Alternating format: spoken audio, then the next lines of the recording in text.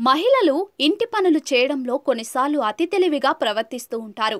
డబ్బులు పొదుపు చేయాలనే ఉద్దేశంతో కొందరు సమయం వృధా చేయకూడదనే ఉద్దేశంతో మరికొందరు చిత్ర విచిత్ర ప్రయోగాలు చేస్తూ ఉంటారు.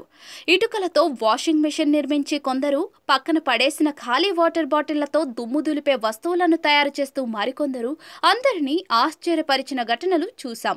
తాజాగా ఓ మహిళ వంటింట్లో చేసిన వింత ప్రయోగం వీడియో తెగ వైరల్ అవుతోంది.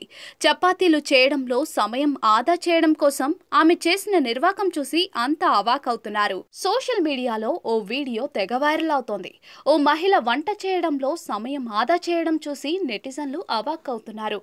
వంటింట్లోకి వెళ్ళిన ఆమె చపాతీలు చేసేందుకు సిద్ధమైంది. అయితే ఒక్కో చపాతీని చేసేందుకు చాలా సమయం పడుతుందనే ఉద్దేశంతో చివరికి మాస్టర్ ప్లాన్ వేసింది. చపాతీ పిండిని ఉండలుగా చేసి పక్కన పెట్టుకుంది. ఒక్కో ఉండను చపాతీగా రుద్దకుండా వినూత్నంగా ఆలోచించింది. చపాతీ ఉండపై ప్లాస్టిక్ కవర్ పెట్టి దానిపై మరో చపాతీ ఉంచి ఇలా సుమారుగా ఎనిమిది ఉండలను పెట్టింది. ఆ తర్వాత అన్నిటినీ ఒకేసారి చెక్కపీటతో బలంగా ప్రెస్ చేసింది.